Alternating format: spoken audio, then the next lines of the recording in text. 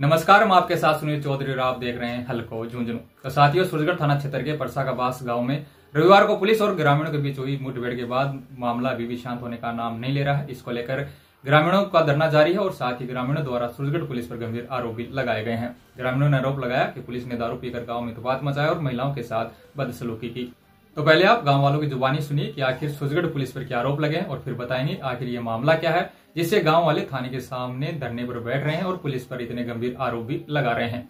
लेकिन वीडियो में आगे बढ़ने से पहले कृपया चैनल को सब्सक्राइब ज़रूर करें, ताकि जुनूनों से जुड़ी तमाम अपडेट आपको टाइम पे मिलती रहे।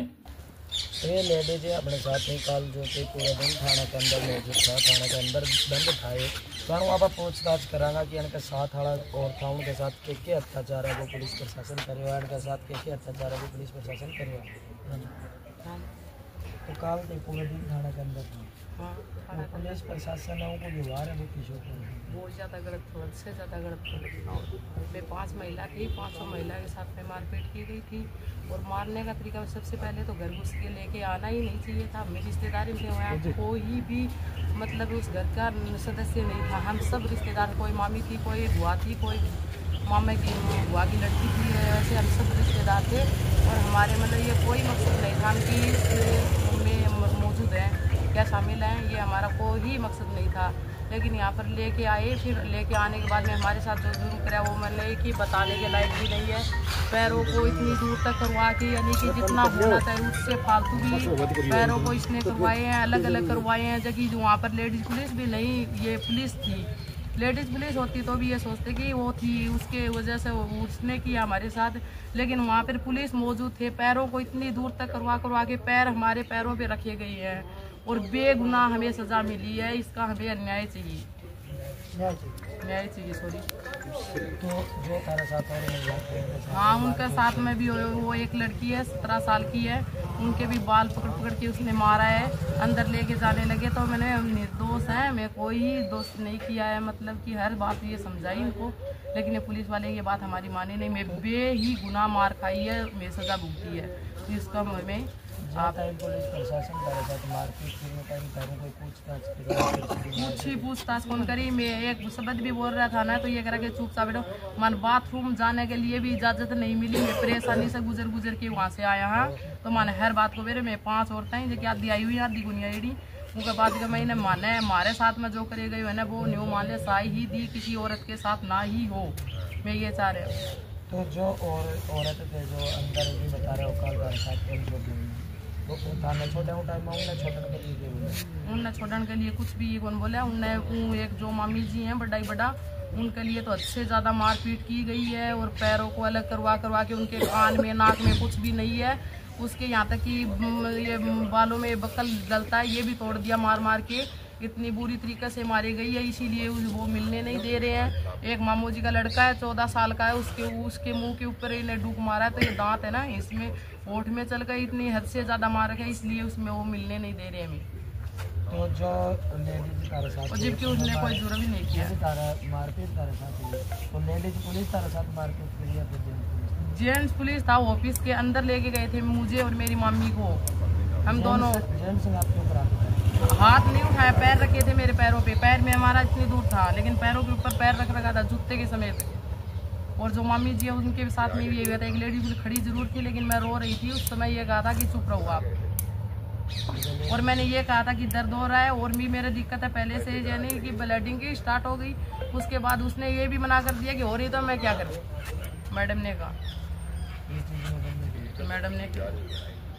ओके। सही है। कल जो पुलिस सुबह गई ही, अठारह बीस जना पकड़ा है, बोली गई अनुसंधान करके हमें वापस छोड़ देना। छोड़ यहीं से हम के, लेकिन इनके सागे भी तानाशाही मारपीट थी, इनका साक्षात भी सिस्टम रखते हैं, इनसे आप पूछ भी लो।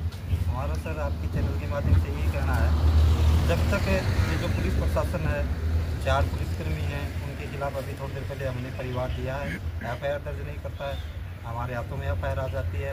उसके बाद दूसरा जो हमारा मुख्य जो मांग है जो भी निर्दोष है तो महिलाएँ, तीन बच्चे और तीन टोटल आठ आदमी हैं, उनको छोड़ा जाए।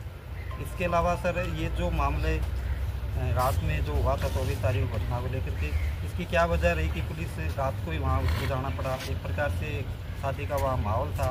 इसमें ये बखेड़ा किया गया पुलिस के द्वारा। इसके पीछे क्या क्या राज है इनका? इनकी लोगों की चाल है, इसका पूरा पर्दाफाश इनके द्वारा होना चाहिए। बस जब तक ये हमारी जो मांगे हैं, ये नहीं पूरी हो जाती, तब तक ये धरना जारी रहेगा तो ये जो मामलो है, ये जो मतलब में जो हमारी मांग है, अगर ये पुलिस प्रशासन सुनी तो ये काफ़ी भाई, अभी तक तो कोई पुलिस वाले हमारे पास आए, कोई अधिकारी हमारे पास आए सुबह से हम लोग यहाँ आ गए थे और हमने ये धरना भी रख लिया है और धरना भी अनिश्चितकालीन धरना है। अनिश्चितकालीन धरना तो मतलब कि धरना को वो कोई निश्चित कि कब खत्म होगा कोई धरने का निश्चित नहीं है। धरना ये है कि हम, हमारी जो मांग है, हमारी मांग ये है कि जो लीगल मांग है, एक तो जो पुलिसकर्मी जो गए थे, चारों के चारों, जिनके कारण सारा का सारा ये कारनामा होता है, वो शराब पी करके गए थे, पकड़ने के शराब गए, पकड़ने शराब गए थे, खुद पी करके गए थे। और उन लोगों ने ये सारा का सारा औरतों के साथ में गाँव घर के अंदर घुस करके औरतों से बदतमीजी करना अपनी गुंडागर्दी दिखाना तब जाकर के माहौल ख़राब हुआ। उससे चाहे निर्दोष लोग मारे गए सारे के सारे अंदर पड़े हैं। तीन बच्चे हैं दो महिलाएँ हैं तीन पुरुष हैं। ये सारी घटनाएँ हैं। इसको जो निर्दोष है इनको छोड़ा जाए और सबसे पहले ये जो चार पुलिसकर्मी गए थे इनके खिलाफ एफ़ आई आर हो और इनको बर्खास्त किया जाए और जो निर्दोष हैं जो अभी भी मौजूद है चार सॉरी आठ है उनको छोड़ा जाए। हमारी यही मांग है। तो ते बच्चा बता रहे हो साथ में बच्चा की लगभग उम्र की मैं अठारह साल का कोई सत्रह अठारह उन्नीस को। यही है बट पढ़ने वाले बच्चे हैं और अपनी पढ़ाई पर ध्यान देते हैं इंटेलिजेंट बच्चे हैं। ये भी नहीं है कोई कमज़ोर बच्चे हैं इंटेलिजेंट बच्चे हैं। लेकिन ये चाह रहे हैं कि अपने से जितना भी हो सके इसको निचोड़ना है उतना निचोड़ दे। तो ये पुलिस है अपना कर रही है काम। नहीं तो मैं कह रहा हूँ अगर वास्तव में अगर कोई बच्चा गलती से कर भी दे तो पुलिस वाले रहम खाते हैं कि पढ़ने वाला बच्चा है चलो इसको तो छोड़े रहम खा जाती है इन्होंने तो कुछ किया नहीं। फिर भी फिट कर रहे हैं। क्यों कर रहे हैं? कि इनको पता है कि ये इंटेलिजेंट बच्चे हैं और ये आगे आने वाले सरकार में इनको रोज़गार मिलेगा। इसीलिए ये लोग उनको भी कर रहे हैं। जो प्रशासन है मतलब जो हमारी मांग है सुनवाई नहीं कर रहे तो प्रशासन ने क्या चेतावनी देना मैं ये चेतावनी देना चाहूँगा कि अगर प्रशासन हमारी बात सुनता है तो ठीक है। अगर नहीं सुनता है तो कोई बुरी बात नहीं है। आपके चैनल के माध्यम से हम ये कह रहे हैं इन प्रशासन को ताकि इनको पता चल जाए कि हम आज तो इतने लोग आए हैं औरतें इतनी आई हैं कल इनसे ज़्यादा, यानी तीन गुना ज़्यादा लेकर के हम लोग आएँगे। कलेक्ट सॉरी, एसपी साहब के पास जाएँगे, उनके पास जाकर के हमारी बातें रखेंगे, ज्ञापन देंगे, और उसके बाद में हम रोड जाम करें, या किसी टावर खंभे पर चढ़े, या फिर इस थाने का घेराव करें वो सारी की सारी इसकी प्रशासन की जिम्मेवारी होगी, ये काम हम करेंगे। दरअसल ग्रामीणों के अनुसार रविवार को रात मुखबिर से पुलिस को सूचना मिली थी कि सूरजगढ़ थाना क्षेत्र के परसागाबास में हवा सिंह मेघवाल नामक व्यक्ति अवैध रूप से शराब बेच रहा है। इस पर सूरजगढ़ थाने से तीन कांस्टेबल एक्शन लेते हुए गाँव में हवा के घर पहुँचे और ज़ोर ज़ोर से उसके घर का दरवाज़ा खटखटाने लगे। तब आवाज़ सुनकर हवा सिंह की पत्नी व बेटी घर के बाहर आए। तब पुलिसकर्मियों ने हवा सिंह को घर से बाहर निकलने के लिए कहा। इस पर उन्होंने कहा कि हवा सिंह घर पर नहीं है। इस बात पर वे उसकी पत्नी व बेटी को ज़बरदस्ती गाड़ी में डालने लगे।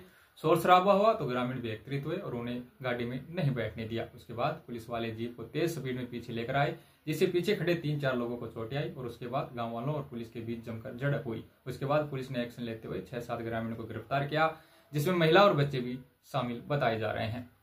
इसके बाद ग्रामीणों ने आरोप लगाते हुए बताया कि पुलिस जिन औरत और बच्चों को उठाकर लाई थी, उनके साथ थाने में ले जाकर बर्बरता से व्यवहार किया और उनके साथ मारपीट की, जिससे नाराज़ ग्रामीणों ने थाने के आगे धरना शुरू कर दिया और न्याय के लिए गुहार लगाने लगे। दूसरी तरफ़ पुलिस ने ग्रामीणों द्वारा लगाए गए सभी आरोप बेबुनियाद बताए। लेकिन इस मामले को लेकर आपका क्या कहना है? कृपया कमेंट करके हमें ज़रूर बताएँ। और झुंझुनू से जुड़ी तमाम बड़ी अपडेट देखने के लिए जुड़े रहिए आपके अपने चैनल हल्को झुंझुनू के साथ।